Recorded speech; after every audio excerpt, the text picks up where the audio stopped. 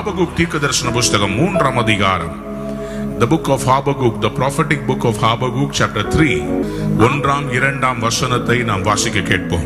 ஆபகுக் தீர்க்கதரிசி சிகாயோனில் பாடின விண்ணப்பம் கர்த்தாவே நீர் வெளிப்படுத்தினதை நான் கேட்டேன். நீர் வெளிப்படுத்தினதை நான் கேட்டேன். எனக்கு பயம் உண்டாயிற்று. எனக்கு பயம் உண்டாயிற்று. கர்த்தாவே கர்த்தாவே வருஷங்களின் நடுவிலே உம்முடைய கிரியையை உயிர்ப்பியும்.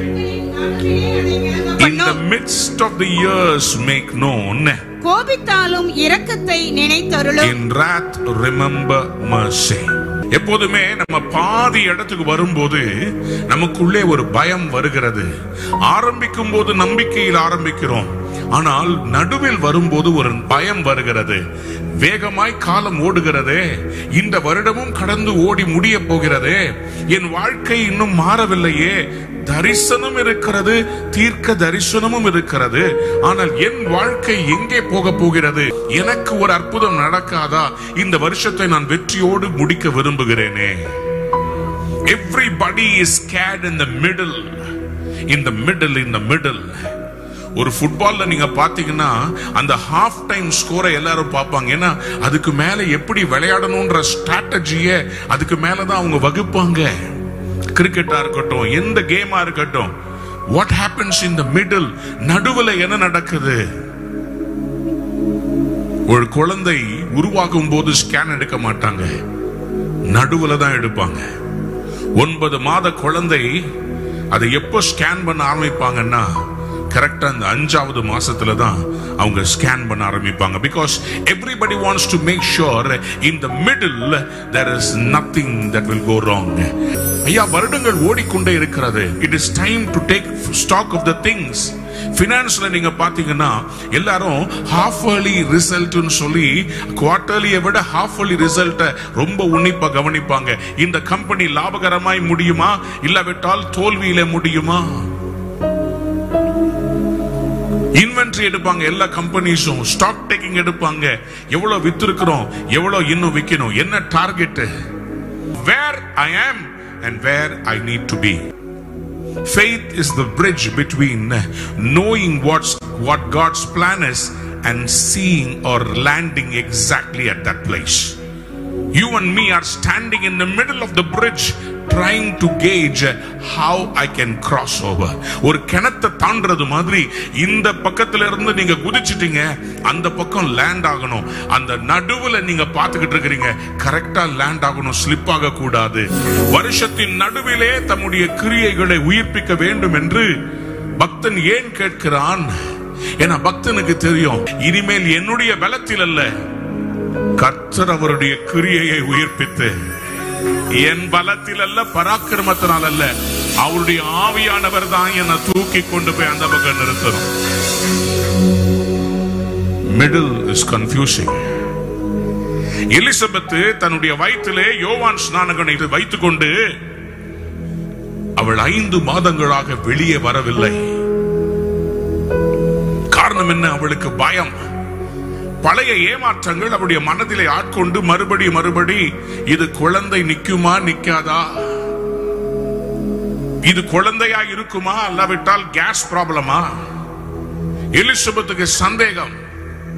ஆனால் வருஷத்தின் நடுவிலே திடீர் என்று சொல்லி மரியாள் வந்து எலிசபெத்தை வாழ்த்தும் போது வயிற்றில் இருந்த பிள்ளை துள்ளி சொன்னது உனக்குள்ளே இருப்பது சாதாரணமான சாதாரணமான டியூமர் இல்ல உனக்குள்ள இருப்பது தேவனுடைய அற்புதம் It happened in the middle. நானும் இன்னைக்கு தீர்க்க தரிசனமாய் சொல்லுகிறேன் in the middle of your visions that you hold pregnant I want to prophetically speak and ask the Holy Spirit to leap that miracle in the middle of your belly உங்களுடைய அடி வயிற்றுல தரிசனமாய் நீங்கள் அழுதி குமுறி கொண்டிருக்கிறவைகளை இன்றைக்கு பரிசுத்த ஆவியானவர் செய்தியை கேட்கும் போது உங்களுக்குள்ள ஒரு துள்ளல் வந்து சொல்ல போகிறது உனக்குள்ள இருக்கிறது உயிரோட தான் இருக்குது. அந்த தரிசனம் உயிரோட தான் இருக்குது. அந்த அற்புதம் உயிரோட தான் இருக்குது. உனக்கு அவர் சொன்னது நிச்சயமாய் நடக்கும். நீ அந்த பக்கமாய் போய் சேருவாய். In the middle you will see a miracle.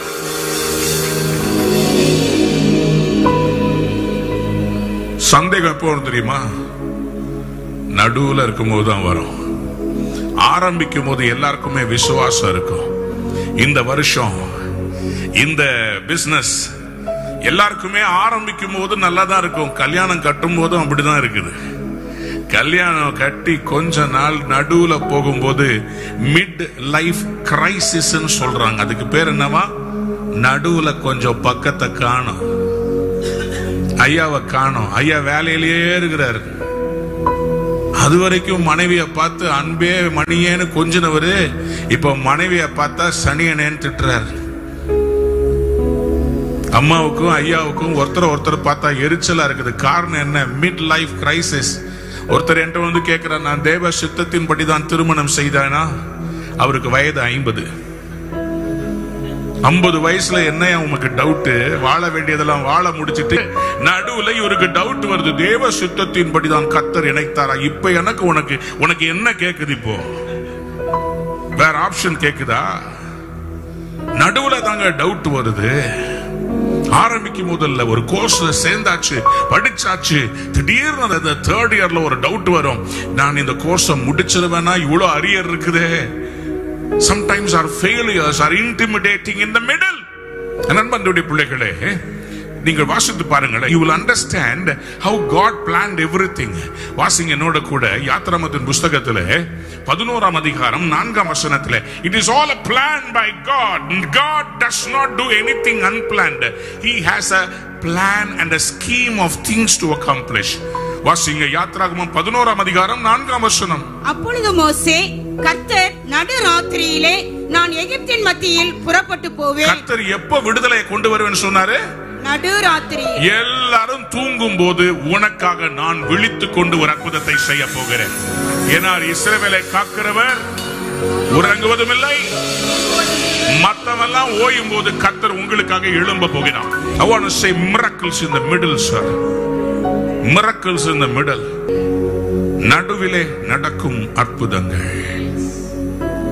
Whatever your age in the midst of the years God is going to revive the work of his hands. உங்க வாழ்க்கையின் மத்தியிலே கத்தர் ஒரு காரியத்தை செய்து கிரியை உயிர்ப்பித்து உங்களை வேற லீகுக்கு கத்தர் கொண்டு போய் உயர்த்தி வைக்க போகிறார். It is time to launch நடு ராத்திரியில கத்தர் சொல்றாரு நான் எகிப்தின் மத்தியிலே புறப்பட்டு போவேன். ஏன் காலையில போகல? இந்தியாவுக்கு சுதந்திரம் எப்போ வந்துச்சு தெரியுமா? நடு ராத்திரியில தான் கொடுத்தாங்க. விடுதலைனாவே நடு ராத்திரி தான். ஆகவேதான் ஆண்டவர் வெயிட் பண்ணிக்கிட்டே இருந்தாரு. கரெக்டா பவுலும் சீலாவும் நடு ராத்திரியில. அவங்களுக்கு தெரியும் நடு ராத்திரி. பாருங்க நடு ராத்திரினா எவ்வளவு இருட்டாக முடியுமோ அவ்வளோ இருட்டாக விட்டுட்டு வெளிச்சமானவர் இறங்கி வருகிறவர். That is why God waits for the middle of the night. Because it's the darkest period, but that's the glorious turnaround. அதனால்தான் அப்போ பதினாறு இருபத்தஞ்சுல நடு ராத்திரியில பவுலும் சீராவும் ஜெபம் பண்ணி கத்தரை துதித்து ஆராதித்து அவங்க பாடின போது கத்தர் ஒரு அசைவை கொண்டு வந்தார் நான் விசுவாசிக்கிறேன் இன்னைக்கு கத்தர் உங்க வாழ்க்கையில இருக்கிற சிறை சிறைச்சாலை கதவுகளை அசைக்க போகிறார் அசைக்க முடியாமல் கூட்டப்பட்டவைகளை கத்த திறக்க போகிறார் it's going to happen in the middle of the night என்ன நடக்க போகுது? தோல்வி இல்ல ஜெயம் வர போகிற. சங்கீதங்களில் நாற்பத்தி ஆறாம் அதிகாரம் ஐந்தாம் வசனத்தை வாசித்து பாருங்க கத்தர் எங்க இருக்க விரும்புகிறார்? Where does god want to reside? God does not want to occupy your periphery. God wants to be in the middle. தேவன் அதன் நடுவில் இருக்கிறார். தேவன் அது நடுவிலே இருக்கிறார். அது அசையாது. அவர் நடுவுல இருந்தா உங்களை யாரும் அசைக்க முடியாது. கர்த்தர் நடுவில் இருந்தால் எதுவும் என்னை அசைக்க முடியாது. That's the power of allowing God to stay in the middle. படகுல இயேசு போகிறாரு. காற்றடிக்கிறது புயல் வீசுகிறது. கப்பல் மட்டும் கவரவில்லை. சீஷர்களுடைய மனதிலே பயம் என்கிற அலை அடிக்கிறது. ஆனால் இயேசுவோ உறங்கிக் கொண்டிருந்தார். காரணம் என்ன? அவருக்கு தெரியும் என்னை அழைத்தவர் உண்மையுள்ளவர். எனக்கு கடலில் கண்டம் இல்ல. எனக்கு சிலுவையிலே தண்டனையை அனுபவிக்கும்படி பிதா வச்சிருக்கிறார். இந்த நடுவில் எனக்கு ஒண்ணு நடக்காது. எனக்கு கத்தர் தரிசனம் கொடுத்திருக்கிறார். என் பிதா என்னை அழைத்த அழைப்பை அழிவ. என்ன கத்தர் இந்த கடல்ல கலிலையா கடல்ல என்னை சாகடிக்க கொண்டு வரல. என் மூலமா அற்புதம் செய்ய ஆண்டவர் என்னை அழைத்திருக்கிறார். In the middle of the night in the middle of the night படகுல இருந்தாலும் அற்புதம். படகை நோக்கி அவர் நடந்தாலும் அற்புதம். யாராவது புரிஞ்சவங்க அலையிலுயா சொல்றீங்களா? ஒரு தடவை அவர் படகுல இருக்கிறாரு புயல் வருகிறது. இன்னொரு தடவை அவர் படகுல இல்ல புயல் வருகிறது. ஆனா மலையிலிருந்து பார்த்து நடுக்கடலிலே வந்து அவர்களை பார்த்து ஏன் பயப்பட்டீர்கள் என்று கேட்டு படகுல ஏறினார். பேதுருவையும் கூட்டிக் கொண்டு உடனே புயல் அடங்கினது. நடு ராத்திரியில உங்களுக்கு கத்தர் உங்க படகுல ஏற போறார். உங்க பிசினஸ்ல ஏற போறார். உங்க வீட்டுக்குள்ள வர போகிறார். அது நடுவிலே அவர் இருக்கிறார் அதை அசையாது. அது நடுவிலே அவர் இருக்கிறார் அதை அசையாது. He is in the middle it will not be shaken. எதுக்கு நடுவுல வந்தார் தெரியுமா? எதுக்கு நடுவுல வந்தார் தெரியுமா? காலையில உங்களுக்கு அற்புதம் நடக்க போகுது எதுக்கு நைட்டு வந்தார் தெரியுமா? காலையில பாருங்க வாசிங்க அந்த வசனத்தை சங்கீதம் நாற்பத்தி ஆறு ஐந்து. தேவன் அந்த நடுவில் இருக்கிறார் அது அசையாது. அதிகாலையிலே தேவன் அதற்கு சகாயம் பண்ணுவார். நான் விசுவாசிக்கிறேன் நாளைக்கு காலையில உங்களுக்கு ஒரு குட் நியூஸ் வரப்போகுது. உங்க இமெயில ஒரு குட் நியூஸ் வரப்போகுது. உங்க வீட்டு கதவை தட்டி ஒரு குட் நியூஸ் வரப்போகுது. உங்க மொபைல் போன்ல ஒரு குட் நியூஸ் வரப்போகுது. நீங்கள் அறியாத ஒரு குட் நியூஸ் வரப்போகுது. உங்க பேங்க் அக்கவுண்ட்ல ஒரு குட் நியூஸ் வரப்போகுது. Sometimes god waits for the middle to bring the turnaround. வாசிங்க யாத்ராமத்தின் புஸ்தகம். பதினான்காம் அதிகாரம் பத்தொன்பதுல இருந்து இருபதாம் வசனம். அப்பொழுது இஸ்ரவேலரின் சேனைக்கு முன்னாக நடந்த தேவதூதனானவர் விலகி அவர்களுக்கு பின்னாக நடந்தார். முன்னாடி நடந்தவர் திடீர்னு ஏன் பின்னாடி வரார்? சில நேரத்துல நம்ம கத்தரை பின்பற்றி போயிட்டே இருக்கிறோம். போயிட்டே இருந்தா திடீர்னு கத்தரை பார்க்க முடியல. ஏன் ஆண்டவரே நான் கை விட்டுட்டேன்னு நீங்க நினைக்கிறீங்க?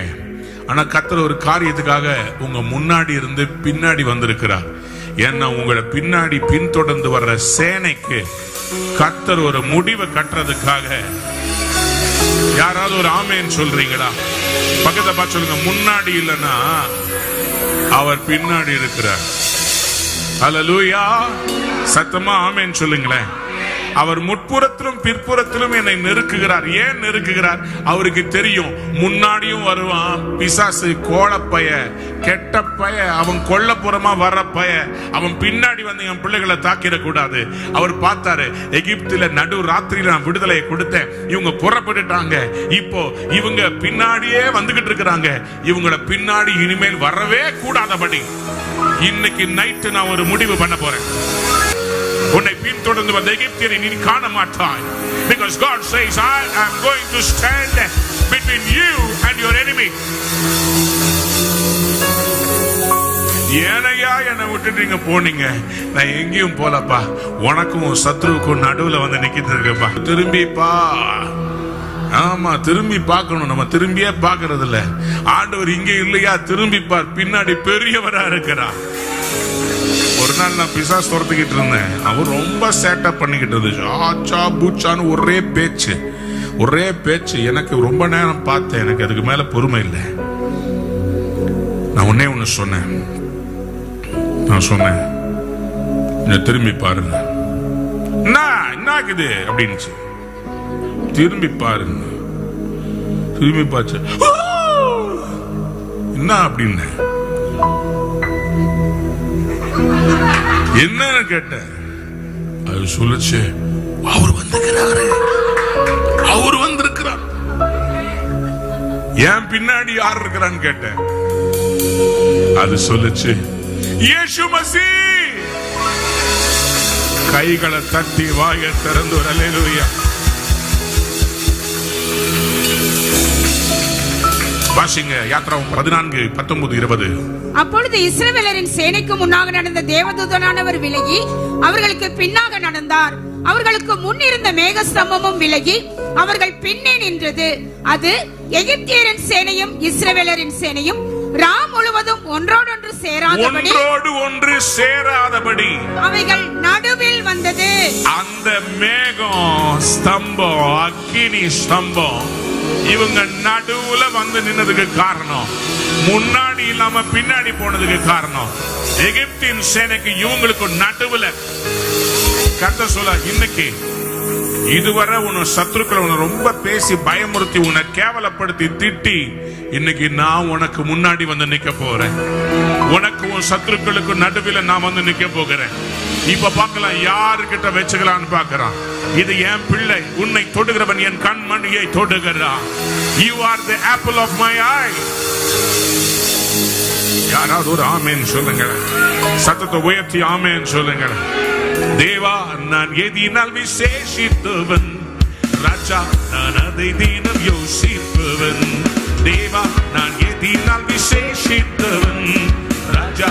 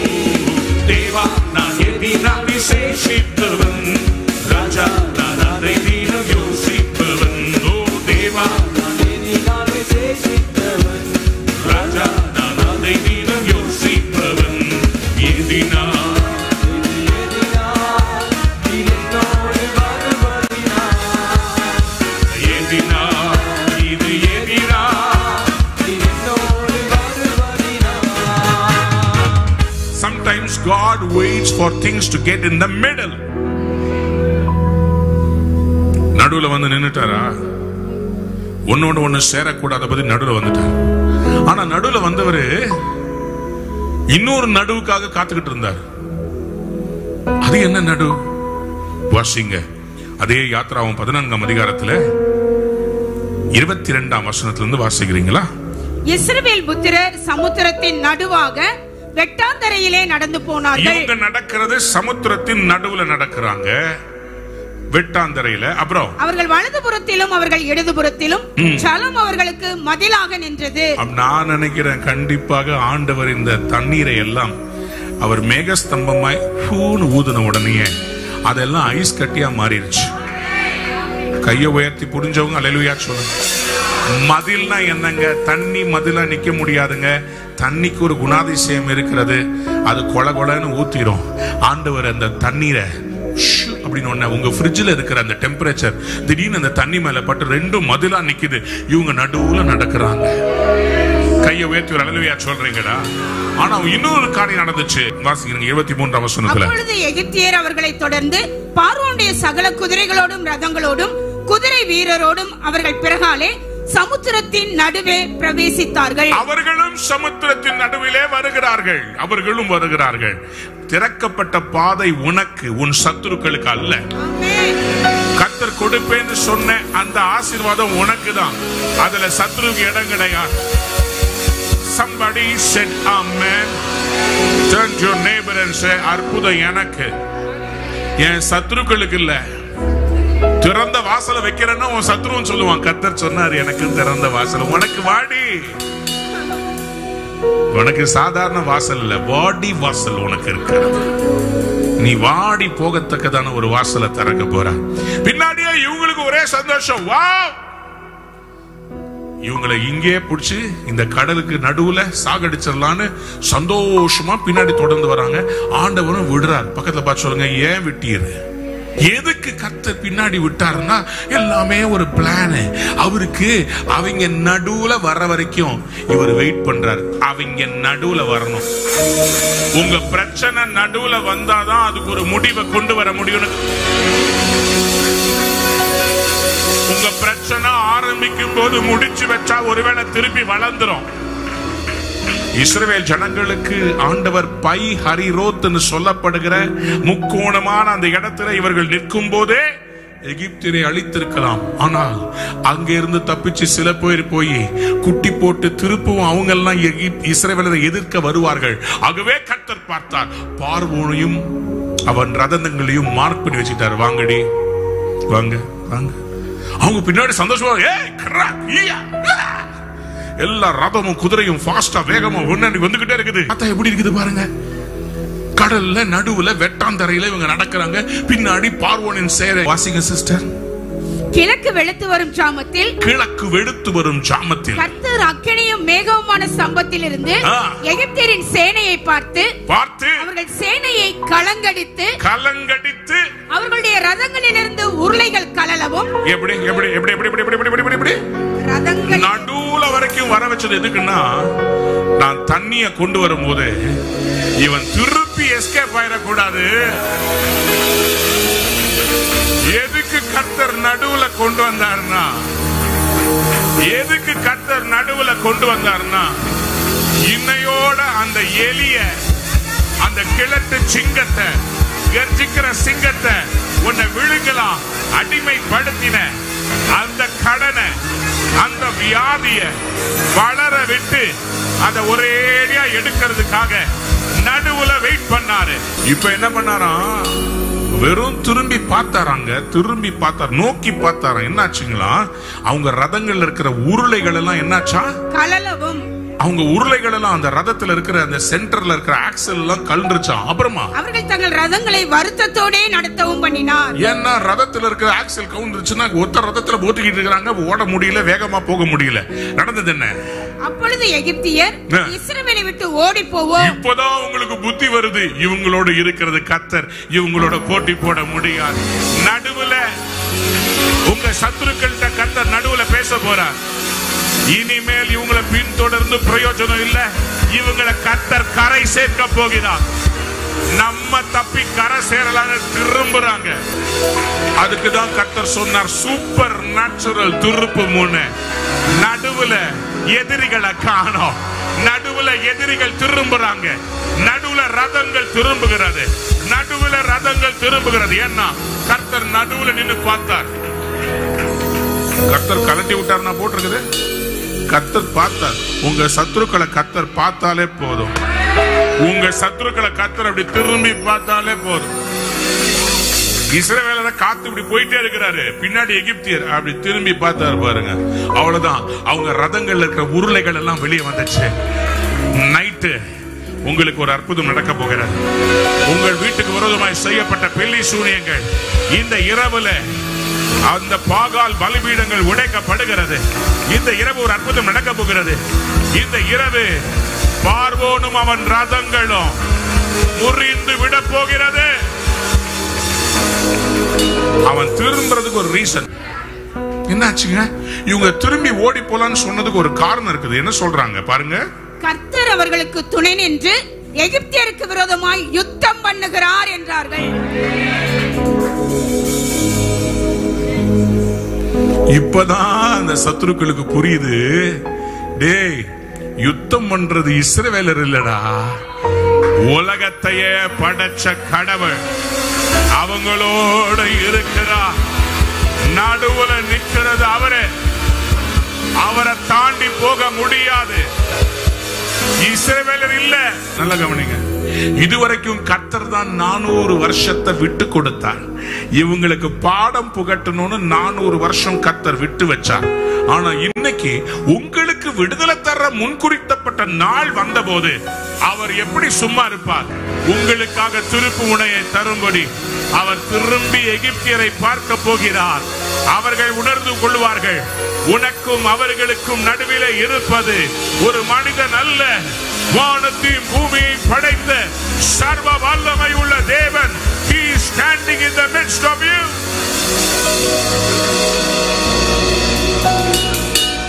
கதர் மோசையை பார்த்து சொல்றாரு கிளம்புப்பா. உனக்கு முடிஞ்சிருச்சு எல்லாத்தையும். ஹலலூயா ஹலலூயா அதோட ஆண்டவர் என்ன பண்ணாருங்க? நடுவுல வந்த பிறகு இவங்க திரும்பி போக ட்ரை பண்றாங்க. ஆனா இஸ்ரவேல கத்தர் வேகமா வெளியே கொண்டு வந்துட்டு தண்ணீரை திரும்ப வர செய்து அதே ஐஸ் கட்டியா மேக ஸ்தம்பமா இருந்தவர் அக்கினி ஸ்தம்பமா வாட்டர் ஹீட்டரா மாறி அதே கடலை கொந்தளிக்க வைக்கிறாரு. உள்ள ஹாட் பாயில்டு சிக்கனா அத்தனை எகிப்தியரையும் வெந்து சாகுறாங்க. புரியல யாராலையும் நீந்தி வெளியே வரவே முடியல. அத்தனை பேருக்கும் கத்தர் ஜல சமாதியை. நடு இரவுல ஒரு பெரிய மேட்டர் நடக்குது. நான் ஃபீல் பண்றேன் இன்னைக்கு நைட்டு கத்தர் ஒரே ஒரு தூதன் அனுப்ப போறார்.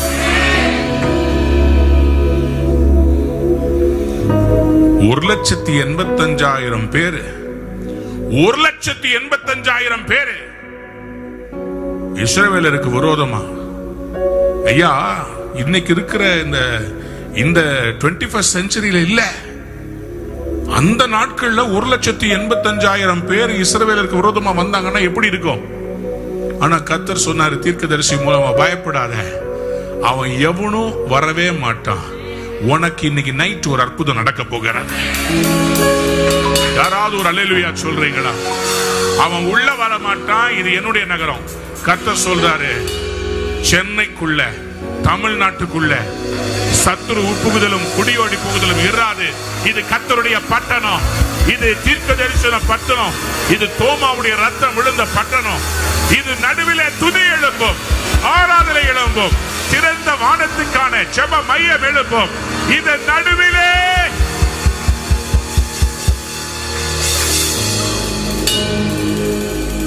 நடு நைட் எல்லாரும் சொல்லுங்க நடு ராத்திரியில. வாசிங்க ரெண்டு ராஜாக்களின் புஸ்தகம் பத்தொன்பதாம் அதிகாரம் முப்பத்தி ஐந்தாவது வசனம். அன்று ராத்திரியில் சம்பவித்தது என்னவென்றால் என்னவென்றால்? தூதன் புறப்பட்டு அசிரியாவின் பாளையத்தில் லட்சத்தி எண்பத்தி ஐயாயிரம் பேரை சங்கரித்தான். அதிகாலமே எழுந்திருக்கும் போது இதோ அவர்கள் எல்லாரும் செத்த பிரேதங்களாக கிடந்தார்கள். யாராவது ஒரு பெரிய அலுவயா சொல்றீங்களா? சத்தத்தை உயர்த்தி அலுவயா சொல்றீங்களா? இன்னைக்கு சில கிரியைகள் இறங்கி உங்களுக்கு விரோதமாய் செயல்பட்டு கொண்டிருக்கிறது. கண்களில் காணக்கூடிய சில எதிரிகள் வான மண்டலத்தின் பொல்லாத ஆவிகளின் சேனைகள். கத்தர் ஒரு யுத்தத்தை கட்டவிழ்த்து விட போகிறார். கத்தர் மிகாவேல் தூதென்று சொல்ல போறார் பொறுத்தது போதும் பொங்கி எழு. என் பிள்ளைகளுக்கு விரோதமா கொத்தளம் போட்டிருக்கிறாங்க. இந்த பட்டணத்துக்கு விரோதமாய் வர்றாங்க. இந்த பட்டணத்துல ஒரு பெரிய காரியத்தை இந்த தேசத்துக்கு விரோதமா பண்ண போறாங்க. எல்லாருக்கும் விரோதமா பண்ண போறாங்க. அதுக்கு முன்னாடி என் பிள்ளைகளுக்கு அற்புதம் செய்யும்படி. லட்சத்தி எண்பத்தி ஐயாயிரம் பேரை சங்கரித்தானாம். It happen in middle of the night உங்களுக்கு தீர்க்கதரிசனமா சொல்றேன். உங்க சத்துருக்களை தேடியும் காணாதிருப்பீர்கள். தேசாயா நாற்பத்தி ஒன்னு பனிரெண்டு. உன்னோடே போராடினவர்களை தேடியும் காணாதிருப்பாய். உன்னோட யுத்தம் பண்ணின மனுஷர் உன்னோட யுத்தம் பண்ணின மனுஷர். ஒன்றுமில்லாமல் இல்பொருளாவார்கள். ஆமென். ஏசாயா தீர்க்கதரிசன புஸ்தகம் நாற்பத்தி ஒன்றாம் அதிகாரத்துல பதினெட்டாம் வசனத்தை வாசித்து பாருங்களேன் உயர்ந்த மேடுகளில் ஆறுகளையும் உயர்ந்த மேடுகளிலே ஆறுகளையும் பள்ளத்தாக்குகளின் நடுவே ஊற்றுகளையும் திறந்து எங்க திறக்க போறாரு? பள்ளத்தாக்குகளின் எங்க திறக்க போகிறாரு? பள்ளத்தாக்கு எங்க திறக்க போறாரு? பக்கத்துல பார்த்து சொல்லுங்க. பள்ளத்தின் நடுவிலே. மலை உச்சி. செங்குத்தாய் நிற்கிற உயரமான இடம். பள்ளத்தாக்கு ரொம்ப லோவான இடம். உங்க வாழ்க்கையில மலையில நிக்காம பள்ளத்தாக்குல நிக்கிறேன்னு சொல்ற தேவ பிள்ளையே கத்தர் இன்னைக்கு பள்ளத்தாக்குல உனக்கு ஒரு ஊற்ற பொங்க பண்ண போறா. யாராவது ஒரு ஆமேன்னு சொல்லுங்க. You are thinking you are reach the lower step of your life you are saying I mean valley of tears சங்கீதக்காரன் எதுக்கு பள்ளத்தாக்க பத்தி எழுதுறாரு? பள்ளத்தாக்கிலே நான் நடந்தாலும் பொல்லாப்புக்கு ஏன்னா பள்ளத்தாக்கில் ஒரு பொல்லாப்பு இருக்கிறது. பள்ளத்தாக்கு என்றாலே இட்ஸ் அ லோ கிராஃப்ல இருக்கட்டும் ஸ்டாக் எக்ஸ்சேஞ்சில் இருக்கட்டும் பள்ளத்தாக்கு வேலி என்றாலே it's a low point it's a low point நம்முடைய ஹார்ட் பீட் அடிக்கிற அந்த நம்முடைய அந்த ஹார்ட் ரேட்னுடைய அது பள்ளத்தாக்கு அதனுடைய வேலி டிக்ரசெண்டோ கிரசெண்டோன்னா மேல போறது டிக்ரசெண்டோன்னா கீழே வராது அந்த கீழே வர்றது அப்படியே விட்டா பிளாட் லைன் ஆயிடும். அது லோ அது ஒரு ஒரு ஆழம் அது ஒரு கீழே இருக்கிற ஸ்தலம். யோனா கத்தருடைய சமூகத்தை விட்டு விலகி போன போது he went to the lowest அவன் கப்பலின் அடித்தளத்தில் போய் படுத்துக் கொண்டானா இன்னைக்கு நீங்களும் அப்படிப்பட்ட ஒரு சூழ்நிலையில இருக்கிறீர்களோ? கத்தர் உங்களை கரையில கொண்டு வந்து விட போறதில்லை. உங்களை கடல்லையே தூக்கி போட போற. இவ்வளவு நேரம் நல்லதானே போயிட்டு இருந்துச்சு. திடீர்னு எதுக்கு திடீர்னு எதுக்கு கடல்ல தூக்கி போடுவாருன்றீங்க? ஏன்னா நீ தப்பான போட்ல ஏறிட்ட. நீ தப்பான வேலையில சேர்ந்துட்ட. தப்பான டெசிஷன் எடுத்துட்ட. உன்னை நினைவேக்கு போ சொன்னா நீ தர்சிஷுக்கு போயிட்ட. கத்தருக்கு நாளைக்கு வரைக்கும் காத்திருக்க நேரம் இல்ல அவர் இன்னைக்கே நடு கடல்ல உன்னை தூக்கி போட போறார். ஏன் தூக்கி போட போறார்? அங்க ஒரு மீன் கிட்ட பேசி வச்சிருக்கிறார். என் பிள்ளைய பத்திரமா நினைவேக்கு. டிக்கெட் இல்லாம கொண்டு போய் சேர்க்கறதுக்கு. கிரகிக்க முடியா? காரியம் சிவி. சர்வஞானியே. பள்ளத்தாக்கின் நடுவில் ஒரு ஊற்ற பொங்க பண்ண போற எத்தனை பேர் ஆமேன் சொல்ல விரும்புறேன் somebody says it is coming. The valley is going to spring forth with water. Valley is going to spring forth. உங்களுக்கு மலையில இருந்து தண்ணி வரும்னு எதிர்பார்த்துட்டு இருக்கிறீங்க. மலையில இருந்து ஆறு வரும்னு எதிர்பார்த்துட்டு இருக்கிறீங்க. மேல இருந்து வரலன்னா கர்த்தர் உங்களுக்கு கீழே இருந்து பள்ளத்துல இருந்து சிம்சோனே ஒரு கழுதையின் தாடை எலும்பை எடுத்து அவன் அத்தனை ஆயிரம் ஜனங்களை வெட்டி போடுகிறான். ஆனால் தண்ணீர் தாகம் எடுக்கிறது. குடிப்பதற்கு தண்ணீர் இல்லை சாக போகிறேன். அவனுக்கு என்ன வருஷம்னா என்னுடைய வாழ்க்கையில பாதியில செத்துற போறனா? இவ்வளோ என்ன அழைச்சிங்களே. சிம்சோன் நியாயம் விசாரித்த வருஷங்கள் எவ்வளவு தெரியுமா? நியாயாதிபதிகள் புஸ்தகத்துல நீங்க வாசித்து பாருங்க நியாயாதிபதிகள். பதினாறு. முப்பத்தி ஒன்னு இருபது வருஷம்.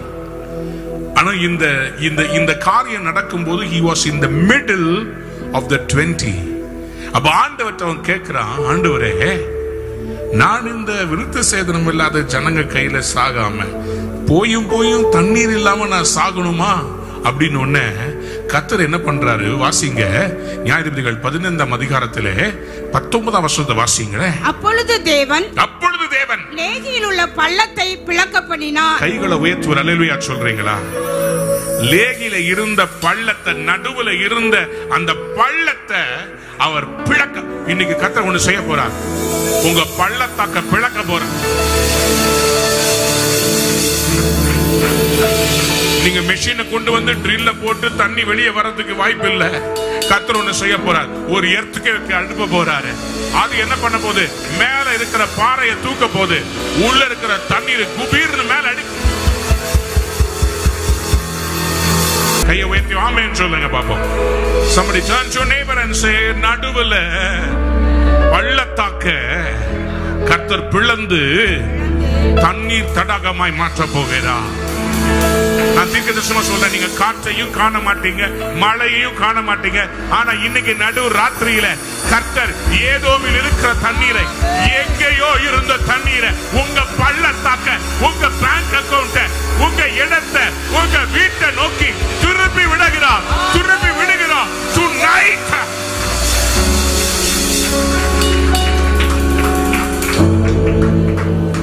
கர்த்தர் உங்களுக்கு சொன்னது தீர்க்க தரிசனம் மாலையிலே அற்புதம் நடந்தது விடியற் காலையில இவங்க அற்புதத்தை பார்த்தது விடிய காலையில கர்த்தர் நடு ரைத்தரையில ஏதோ மேலே போய் கொண்டிருந்த தண்ணீரை கத்தர் இவங்களுக்கு நேரா திருப்பி விட்டார் இது கத்தருக்கு அற்ப காரியம் யாராவது ஒரு ஆமேன்னு சொல்லுங்க சத்தத்தை உயர்த்தி ஒரு ஆமேன்னு சொல்லுங்க You are going to see a miracle. Your water is coming. Your water is coming from the valley. Valleys are going to be opened. உங்க பள்ளத்தாக்க கத்தர் திறக்க போகிறார். நான் விசுவாசிக்கிறேன். உங்கள் வாழ்க்கையினுடைய மத்தியில கத்தர் உங்களை சுகமாக்க போறார். இருபத்தஞ்சு வயசுல கல்ல தூக்கி வாயில போட்டாலும் கரைஞ்சு போயிருது சாமி. ஆனா நாற்பது வந்துட்டா கேஸ் ப்ராப்ளம். Gastritis problem. வயிற்றுப்போக்கு மலச்சிக்கல் நரம்பு தளர்ச்சி பாதி வயது வரும்போது கொஞ்சம் ஆட்டம் காண்பிக்கிறது. மிடில் தான். டுவெண்ட்டி ஃபைவ் தேர்ட்டில பாருங்க காலம் மாதிரி நிற்போம் வந்து மோதிப்பார். நாற்பதான அம்மா. ஐம்பதாகும் போது ஐயோ. அறுபதாகும் போது அப்படி. என்னாச்சு? நடுவுல கொஞ்சம் போனு தேஞ்சிருச்சு என்னாச்சா? நடுவுல தேஞ்சிருச்சு தேய்மானம் சேர்மானம் எல்லாம் பாதி வயசுல தான் வருது.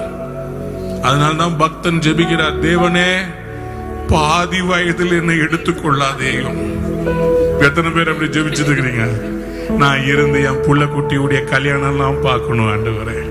நான் இருந்து எல்லாத்தையும் பார்க்கணும் ஆண்டவரே. நான் பாதி கிணறு தாண்டிட்டேன். பாதியில நான் எடுத்துக்கொள்ளாதீங்க. பாதியில. சங்கீதம் நூத்தி ரெண்டு இருபத்தி நாலுல இப்படியா சங்கீதக்காரர் ஜெபிக்கிறார். வாசிங்க. அப்பொழுது நான் என் தேவனே பாதி வயதில் என்னை எடுத்துக்கொள்ளாதேயும் உம்முடைய வருஷங்கள் தலைமுறை தலைமுறையாக இருக்கும்.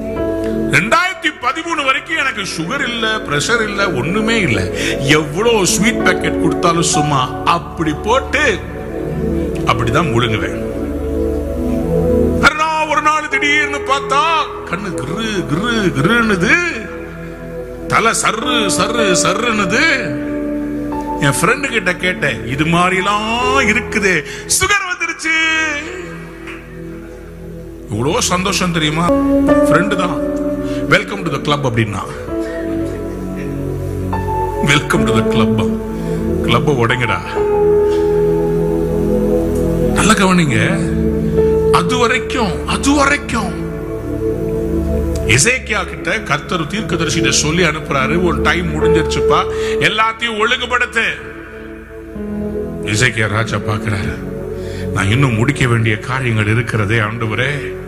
சுவர் பக்கமாய் திரும்பி அழுகிறார். ஆண்டவரே நான் உமக்கு முன்பாக உண்மையாய் நடந்ததை நினைத்தருளும். அப்ப கர்த்தர் ஒரு அற்புதம் செய்கிறார். I was so interested when God revealed to me how the same man of God who prophesied God stopped him somewhere. ரெண்டு ராஜாக்கள் இருபதாம் அதிகாரத்திலே நான்கிலிருந்து ஐந்தாம் வசனங்களை வாசிக்கலாமா? ஏசாயா பாதி முற்றத்தை விட்டு அப்புறம் போகிறதற்கு பாதி இடத்தை விட்டு கைகளை உயர்த்தி ஆமேன்னு சொல்றீங்களா? Isaiah after having prophesied to king hezekiah he is in the middle of the court. திரும்பி போய் ஏசேக்கியா கிட்ட சொல்லு. கத்தர் உன்னுடைய தகப்பனாகிய தாவீதின் தேவனாகிய கத்தர் சொல்லுகிறார். உன் விண்ணப்பத்தை கேட்டேன். உன் கண்ணீரை கண்ட உன் பிள்ளைகள் நிமித்தமா உன் ஜீவனை நான் தப்ப விட போறேன். உன் பிள்ளைகளுக்கு நல்ல எதிர்காலத்தை செய்து குடிக்கிறதுக்கு அந்த ஹார்ட் அட்டாக் வராது. அந்த ஹார்ட் அட்டாக் உனக்கு வராது.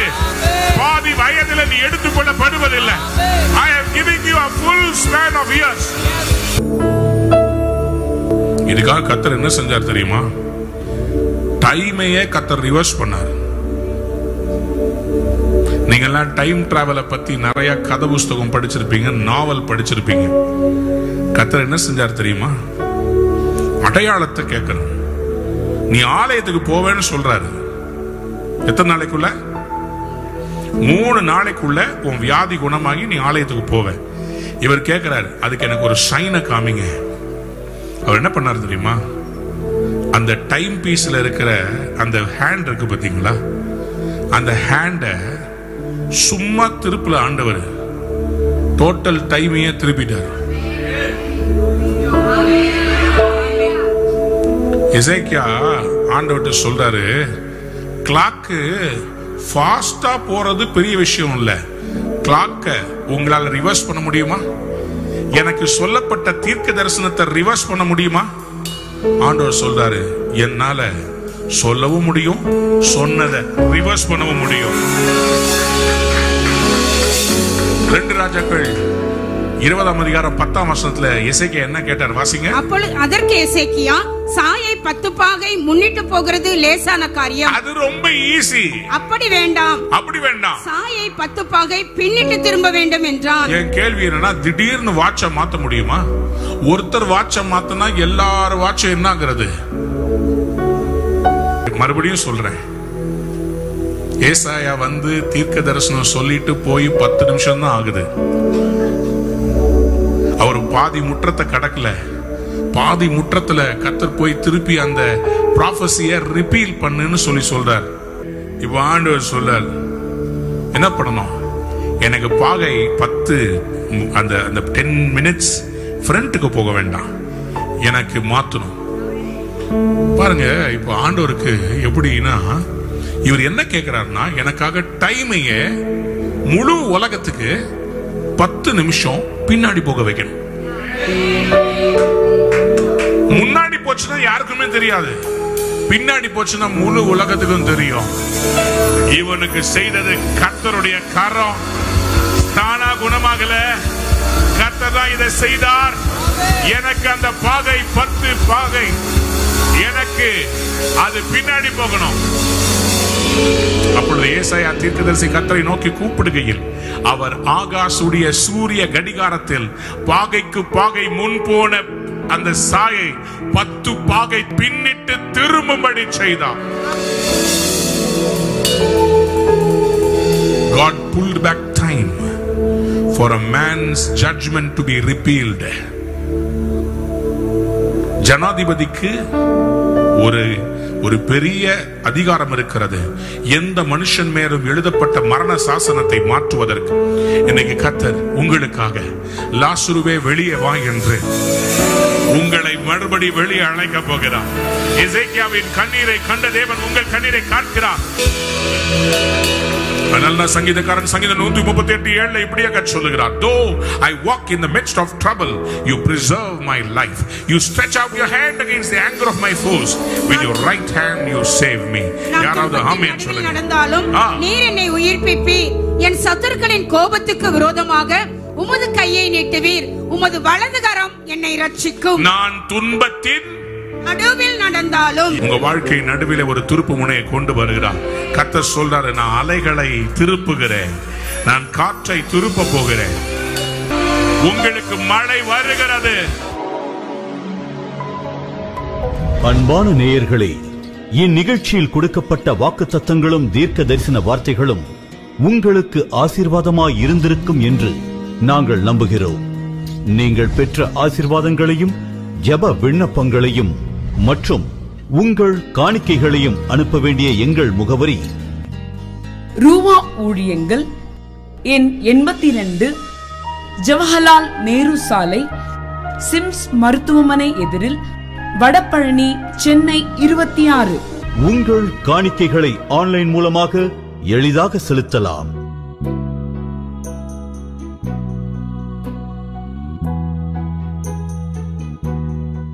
எங்கள் இணையதள முகவரி W W W dot Ruha ministries dot O R G